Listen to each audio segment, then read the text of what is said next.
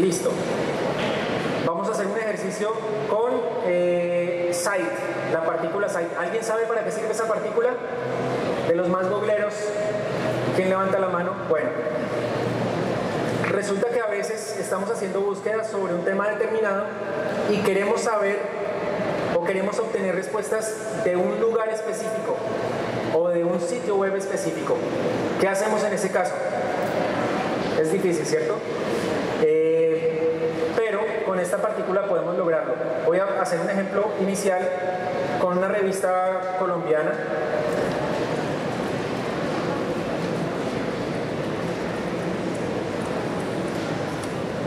Vamos a ver si, si, si nos está funcionando. Bueno, esta es una revista de diseño, de arquitectura, etcétera, etcétera, que lleva creo que 15 años en el mercado y en la web lleva unos 5 años. Y vamos a hacer una búsqueda. Usamos la lupa del sitio y vamos a buscar eh, diseño Bogotá.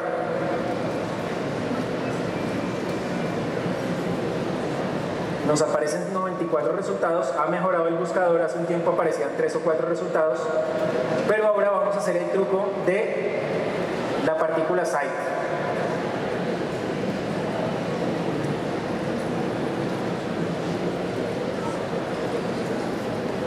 Miren lo que estoy haciendo, estoy haciendo la búsqueda de las mismas dos palabras, pero desde Google dentro del sitio web. ¿Qué nos aparece? ¿Alcanzan a ver cuántos resultados salen? 570.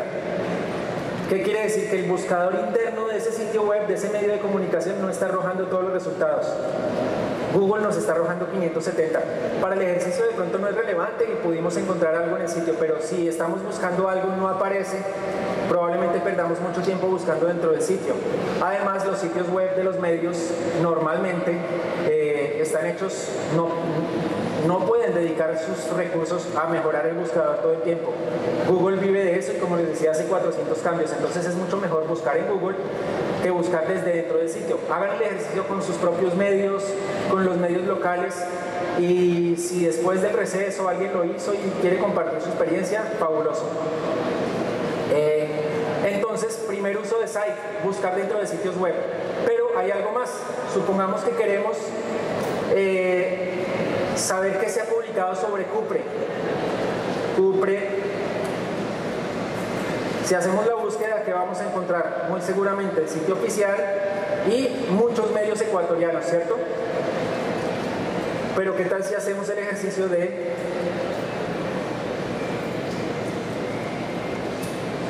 ver si en Perú se ha publicado algo de Cupre?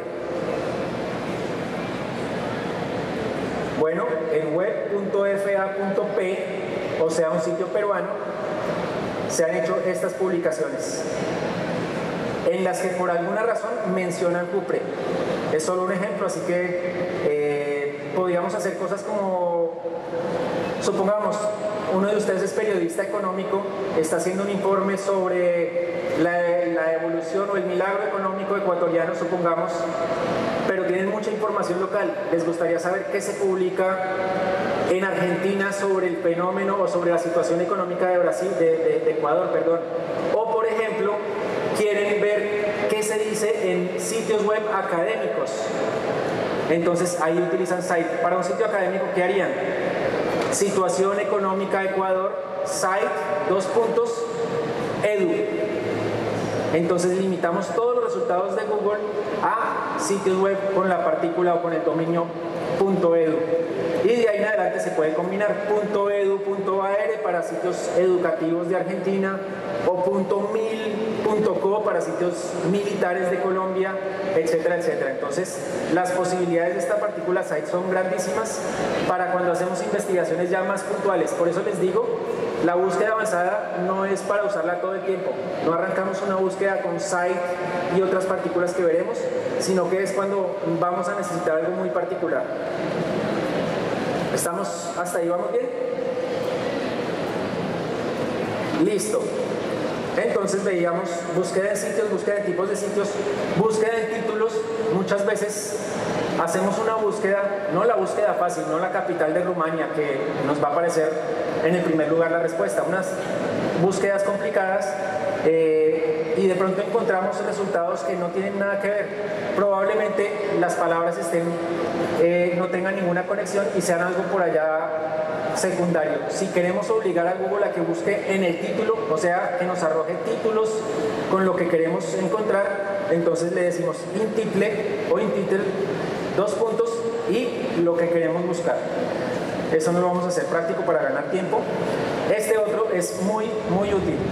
File type, búsqueda de diferentes formatos. Cuando surgieron los buscadores, ¿qué buscaban o en qué buscaban? En sitios web, en páginas web.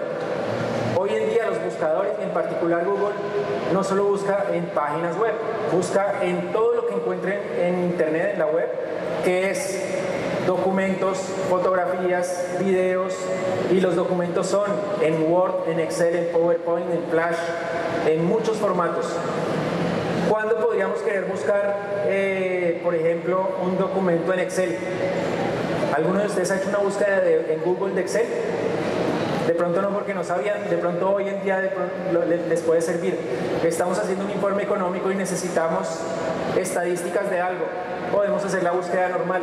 Si no encontramos lo que necesitamos, busquemos una hoja de cálculo, o sea, file type, la partícula file type, dos puntos XLS. Y probablemente encuentren, probablemente no, los resultados van a ser exclusivamente hojas de cálculo en Excel. O supongamos, estamos haciendo el, mismo ejercicio de la situación económica de Ecuador.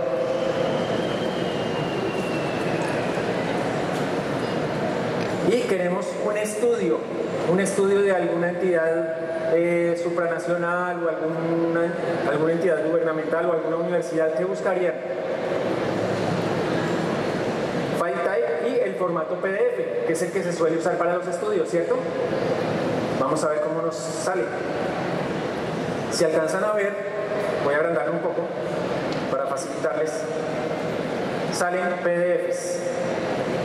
Y lo normal es que sean estudios, justo lo que estábamos necesitando. Ahora, podemos combinar. Resulta que queremos formato PDF porque queremos estudios, pero queremos que sean no de, no de Ecuador ni de Perú, sino de Por ejemplo, vamos a ver, lo estoy poniendo un poco difícil porque no debe haber tanto contenido, pero miren que sí. Universidades de Argentina o sitios académicos de Argentina con, el dominio edu y eh, nos están arrojando PDFs sobre la situación económica de Ecuador. Entonces, Seguramente no es algo de usar todos los días, pero que cuando necesiten una búsqueda muy específica les va a ahorrar muchísimo tiempo. Y van a encontrar no solo más rápido, sino más relevante. Muchas veces nos quedamos con el resultado menos malo porque no supimos encontrar algo que realmente fuera lo que necesitábamos. ¿Les ha pasado? Bueno, sigamos.